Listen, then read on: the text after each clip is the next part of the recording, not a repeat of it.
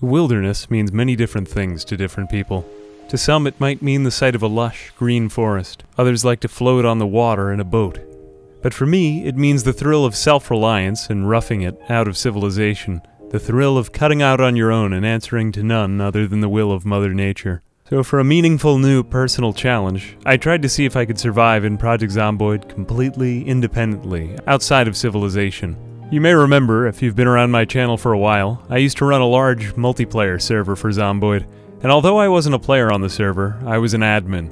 I had the most fun teleporting from player to player and watching what kinds of interesting things people were building. Although a lot of my players eventually got tired or frustrated, reasonably so, and left when their characters died, that's just the way the game works. There were a few small groups of players who fortified some cabins secret to most, but hidden well enough away in the woods, and trekked back and forth on looting runs to and from civilization. Sometimes they fought other players. Sometimes they even died, but this made for some of the drama. No one could ever quite challenge them since their bases were so well hidden in the mysterious brush of the woods. Even I, as an admin, had some trouble finding out where they were located.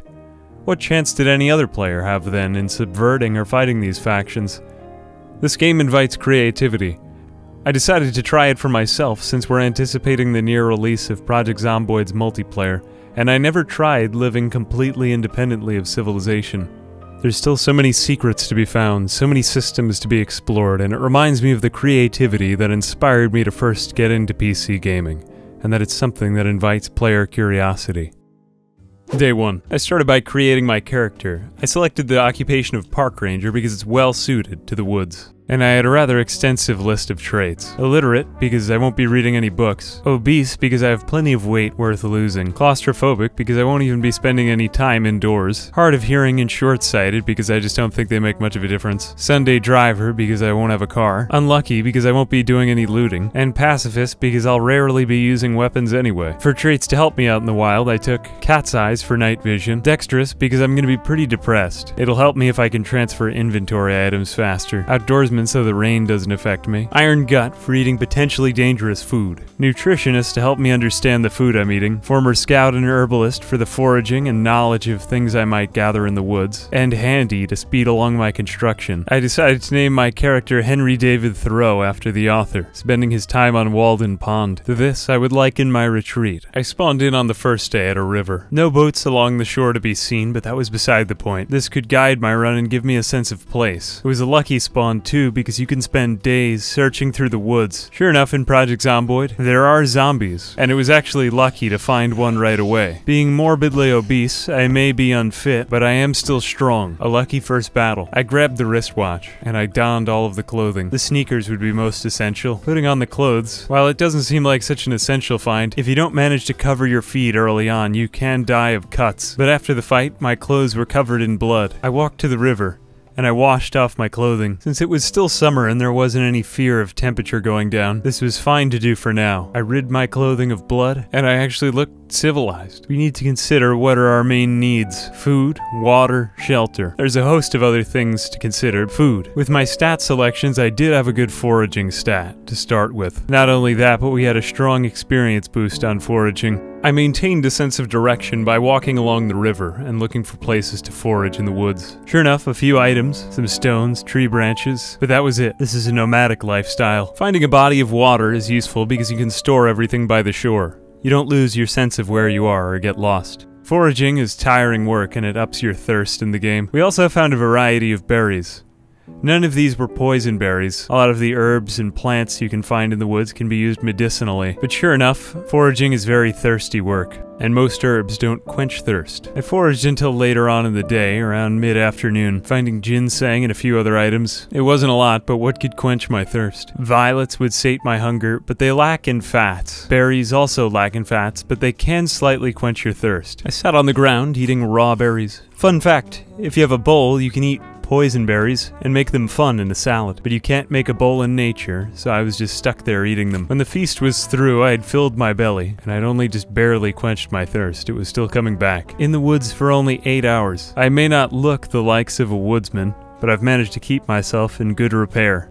And of the three main needs, food, water, and shelter, I had satisfied food, at least in the short term. I would still lose weight, but at least I was safe for tonight. Water was next to me, but did I dare drinking straight out of the river? I would have to wait for something safer, and I decided to forego drinking. Having that pile by the riverside, I could confidently run my way through the woods and forage copiously throughout the woods. Such treasures did I find therein. By the end of the day, I was exhausted. I had done nothing but foraging for about 12 hours. I laid out all my wittings on the ground and tried to categorize them. Exhausted, thirsty, and tired, I had collected 21 berries throughout the day. I used all of them to solve the thirst problem, but they wouldn't make me fat. Certainly not. I had done something to it, but still I couldn't afford to sit there eating berries all day. With that, I opened up my crafting menu. I took a chipped stone and a tree branch I had found and crafted a spear. I equipped it. One of the most dangerous things in the wilderness would be to have zombies nearby but not see it before I go to sleep so I wanted to make sure that they came to me. Sure enough, a little ways inland, a foe. It was only one, but that would be enough to kill me in my sleep. Gone. I collected the clothing and ripped it up for usage in my fires. These would make good rags. During the fight, my spear broke and I had to take the rest out by foot. Unfortunately, obesity doesn't do you any favors in combat, but I dispatched the rest of them. I collected the rags, and I felt safe. I dropped my broken spear, and although the water was tainted, I could still wash myself in the river, so I did before nightfall. I crafted another spear to defend myself from anything that might come at night. And then I built a stone axe. Now I had sheets with which I could craft it, as well as a stone hammer. I donned the spear on my back, and then I slept by the shore. I might not have had any cover, but I at least had a sense that there were no zombies nearby. I left myself to the will of Mother Nature. When I woke up in the morning, it was 7 a.m. Still groggy and extremely thirsty. I needed to find something to make water safe. I made my way back into the woods. Finally, I'd found it lemongrass. Eating enough lemongrass could save you from drinking bleach.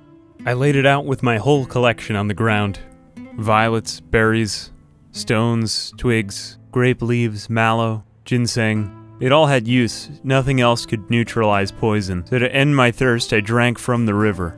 Now I'd wait, I decided that this was a safe solution. Just keep searching for lemongrass and you can drink all the tainted water you need. Incidentally, since I had the spear on my back, I found I could start spearfishing. And so that I did, and for a few hours I spearfished. It took time, and it certainly wasn't a quick or easy process, but I was safe from the area. I had started off with no fishing skill whatsoever, too, but even I was able to catch a few small fish, gain some basic experience. True, it did take me the entire day to catch two measly fish, but what else was I doing out in the wilderness? I also caught shoes, and finally a big bass. This was enough to get me to stop fishing just before nightfall. It wasn't a very eventful day, and I was still thirsty and very hungry. Since I was overweight, I ate berries, but berries just don't have the caloric needs to sustain someone's weight. The fish Fish are richer in macronutrients, and they come in a greater variety for any dieting needs. And while you'd think that you would need to eat a fish hot, right? You'd need to cook it? No, it was the Gollum lifestyle, and I ate the entire big bass. 145 grams of fats. Would it sustain my weight? And in fact, my weight was sustained. At least up until the winter, I could sustain this lifestyle. But I was, again, completely exhausted. I'm no natural fisherman, and this was a hard day of work. I dropped my fish prizes on the ground, and I went back to nature with my stone axe on my back to cut down some trees. I knew what I was doing next. I would need to use the last of my energy for the day to fight off any zombies, so I called out. I ventured deeper into the woods, until I felt confident that there weren't any zombies around. The next phase of my journey would require a lot of wood.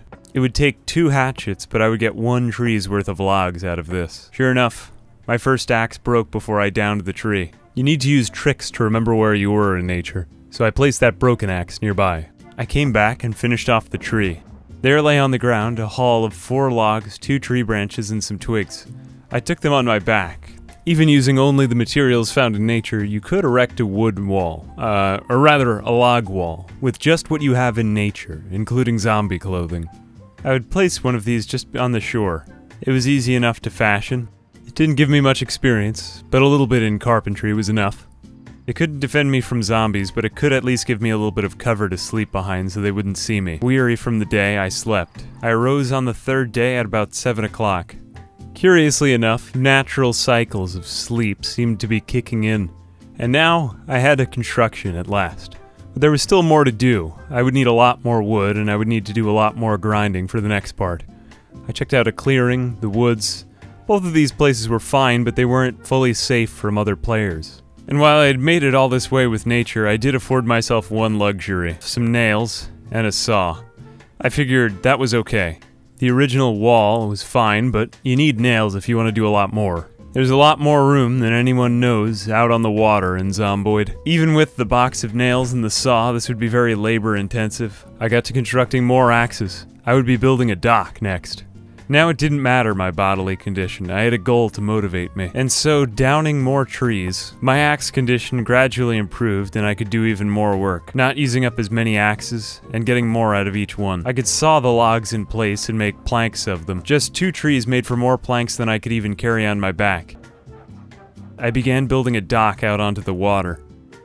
While it wasn't safe yet, it would help me gain distance from the zombies. I built that walkway far out onto the river. During the process, my hammer ironically broke. Before I knew it, I was well out on the river. Not so far, but I could keep building out my dock, in theory, to a place where no player would ever even be able to spot it from view distance. And I could see nothing but river as far as I went out. Now I saw nature not as a threat, but as a means to improve myself while I was exiled here a way to improve my skills. In the forest, cover from other players and zombies. In fact, I probably didn't even need all of the traits I started with. I think Almost anyone could do this. The one thing that was always difficult to find was chipped stones. Most of my forage runs, I needed them, but I was gathering up a whole library of other resources beyond me. I hate a whole bowl worth of berries. Now there was no fear because I had more than enough food to keep me sustained. Curiously, I found that with my current tools, I could still disassemble one of these walls. And so I did.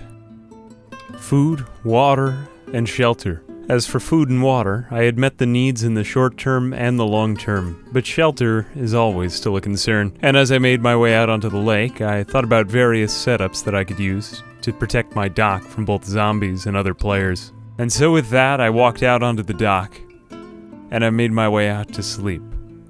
I slept on the ground again for another night. I went to bed around 6 p.m. and I woke up before the crack of dawn. Fortunately, you still can fish on the dock. In the morning, I thought I'd keep improving my fishing skills, so I went fishing to see what came up at night. Would any different kinds of fish be out? Once you get a hang of it, everything is sort of a meditative process in nature. I got some socks so I could keep replacing my clothing with just whatever I found in the river. At this point, a bit more of the grind kicked in. But to tell you the truth, it is a long process, and it is a bit of a grind. I did level up in foraging, which was a help, but it still takes a very long time. And I found a lot more of what I didn't need than what I did. A couple of crickets, too. While you could, in theory, go out to the other side of the river and have a very secret base, what I had in mind was something more maritime. And once I could manage it, I built myself a stairway up into nothing. I wouldn't actually end up using this first one, but this next part took a little bit of figuring out. But if I could cut myself off via stairways, I would separate myself off from the zombies on land. Finally, a little bit of ingenuity led me to a design that would make me safe from all zombies. I could finally rest easy food, water, and shelter now. Later on, I could implement something like this on the shore too if I wanted. There's still just enough things in Zomboid that make it weird and wacky and make me like it, even for all its flaws. It's a lot of work, but if you really wanted to make something like this happen, you could create an entire fortress on a river. Corridors filled with secrets, packed to the brim with weapons. But if you ever got it to happen, the end result could be something amazing, something that was a splendor to behold, I hope that this inspired some ideas or creative thinking in Zomboid, because I think that this is the type of game that lends itself to that. Something that just makes games intrinsically fun, and reminds me of the curiosity with which I explored them in youth.